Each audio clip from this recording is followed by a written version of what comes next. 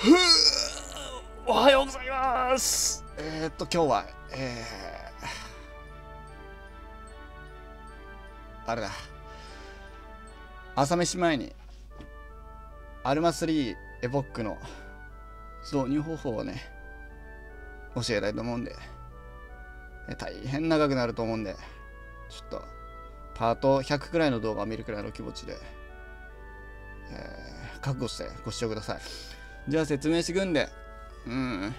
覚悟してあのね CAD とか C 言語とかね FX とかデイトレとかマスターするくらいの気持ちでご視聴してくださいと。じゃあ行くぞ。えー、まずストアからアルマスリーを買ってください。アルマスリーを買うとライブラリの中にアルマスリーが追加されます。アルマスリーを追加されると真ん中のページに、えー、スクロールすると、えー、ワークショップというページが追加されます。ワークショップを開きます。えー、はいはいはいはい、はい。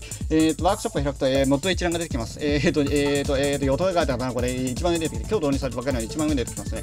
えー、多分一番上に出てこない場合は、ここ元一覧なんですけど、この検索エンジンを使ってください。ポッとここに入力します。えー、はいはいはいはいはいはいはい。エポックというスペルは、エポッチと覚えると中学生でも覚えられると思います。えー、大体左上に出てくるんで、これを押して、えー、はいはいはいはいはいはい。えーと、この緑のどんどサブスクライズというのを押すと、えーと、勝手にあとは導入されます。えー、導入された後は、えーと、アルマ3コマンドを起動してください。まあ、自動起動、普通に起動すれば出てきますね。さあ、その中から持つという中の、えー、エポッチにチェックを入れて、プレイしてを押してください。したら、アルマックス、したら、アルマックスできてる。